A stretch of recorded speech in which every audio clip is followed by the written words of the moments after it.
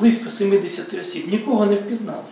Е, Ну, була стандартна відповідь. Тувінці вони всі на одне лице, як їх можна було е, запам'ятати і так далі.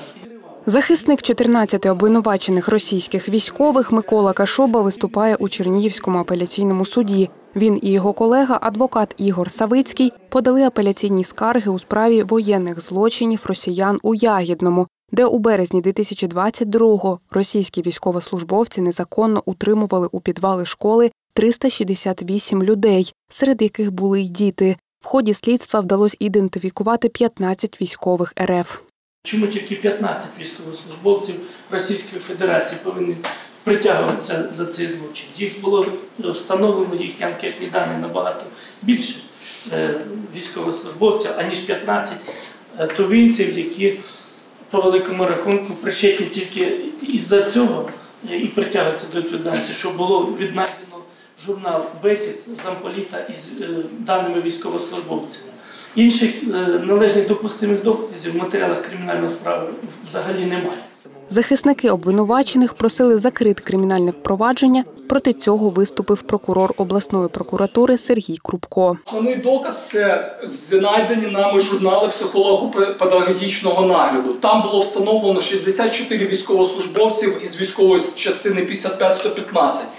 Кольорові фотографії, зображення там були, всі анкетні відомості, рід військ, займані посади, номера телефонів, навіть їх російські. Нагадаємо, справу воєнних злочинів росіян у Ягідному почали розглядати у суді в серпні 2023 року. За цей час дали свідчення 84 потерпілих. Слідчим вдалося ідентифікувати командира росіян з позивним кльон, який ймовірно і віддавав наказ утримувати цивільних у підвалі школи. Чернігівська прокуратура оголосила йому про підозру, проте його справу розглядатимуть окремо. Сергій Крупко каже, окрім журналів, також були знайдені і інші документи. Це е, військові квитки Російської Федерації, деяких із обвинувачених, які були, і ця сукупність документів.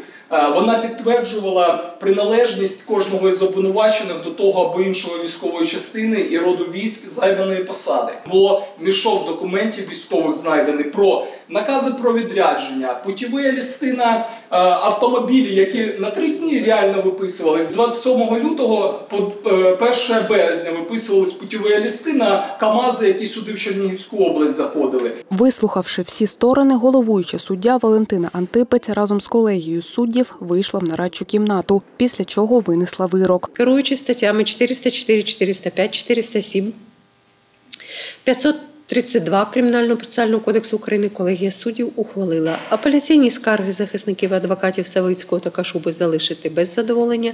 А вирок Чернігівського районного суду Чернігівської області від 11 березня 2022 року без змін. Олександра Мілашевська, Валерій Циркун, Суспільне новини Чернігів.